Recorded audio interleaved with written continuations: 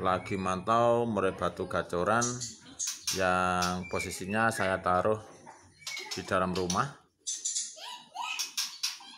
Sempat terpantau ngeplong-ngeplong ya. Ini usianya sekitar satu tahunan muda hutan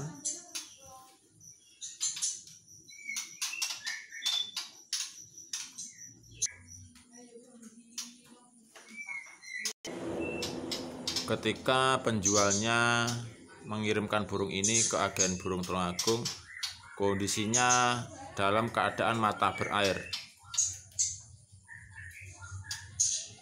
Tetapi di sini setelah saya rawat beberapa hari dua hari tiga hari Alhamdulillah sudah sembuh karena saya menggunakan e, obat racian dari agen Tulungagung dan Alhamdulillah burungnya sudah sehat dan kepantau lebih faktor ya.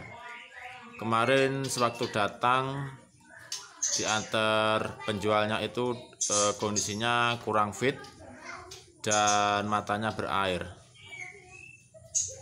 Di sini sudah kepantau ngeplay-ngeplay dan sempat ngeplong bunyi walaupun masih monoton ya.